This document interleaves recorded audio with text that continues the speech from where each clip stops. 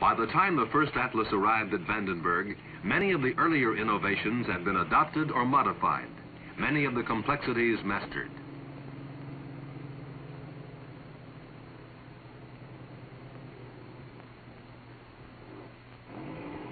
This transporter is approaching the MAB building, a shelter for the assembly and checkout of all Atlas missiles, where the major portion of the weapon checkout is performed by this fantastic piece of apparatus, the Automatic Programmed Checkout Equipment, or APCHE, an electric mechanical brain on the order of an electronic business machine.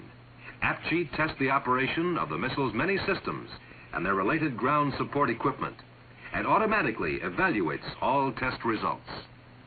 Punched programming cards, such as these, are inserted and read by the APCHE reader, whereupon command signals are sent to the missile via the related checkout equipment and given tests are accomplished. Each test performed is printed on a tape as a specific test is being performed. Not only does APCHE check out all missile systems and ground support equipment, it is also capable of immediate self-check assuring before and after each missile test that the equipment itself is functioning properly.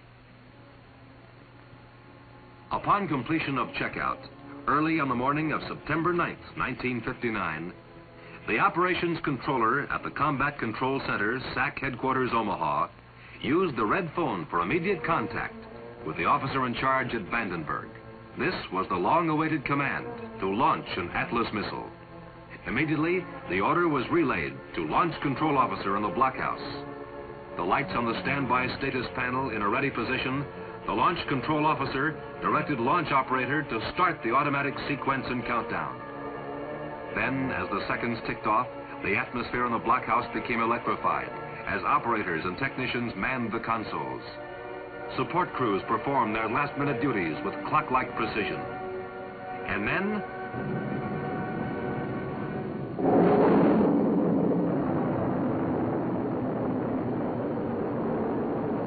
Vandenberg had scored again, successfully launching its first intercontinental ballistic missile.